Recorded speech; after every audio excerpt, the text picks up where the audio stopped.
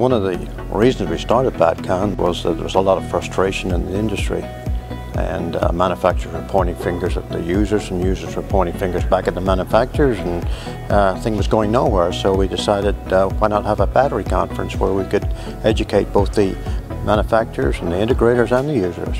And that's what it started off as. And look what has become today 19 years later what we've got a situation now is where the manufacturers and the users and the integrators are all buddies and they are uh, working fine together so I think we've achieved something over those 19 years. National Electric Code, NFPA 70, the scope is really about safeguarding personnel and property, but it's really about life safety. I'm Paula Cross from PowerTech in Jamaica. We are the Eaton UPS representative there. This is my first year at BATTCON and I think it's an excellent show.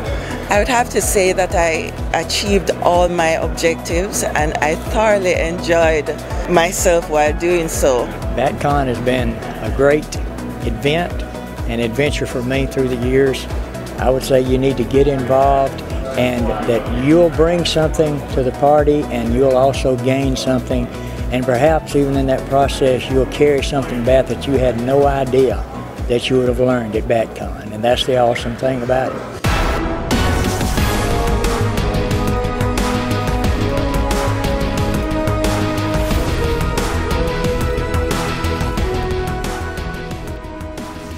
Networking is extremely important to me. It wasn't a consideration for BATTCON because I knew I was coming here for the technical side. But what I found at the expo last night was an amazing amount of qualified and industry leaders really in this space attending. And so I was able to network with some of the most knowledgeable people in the market.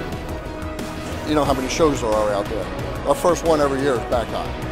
As far as I'm concerned, it's the premier show that there is in this industry. Uh, a lot of good technical minds. Uh, you can learn a lot from it.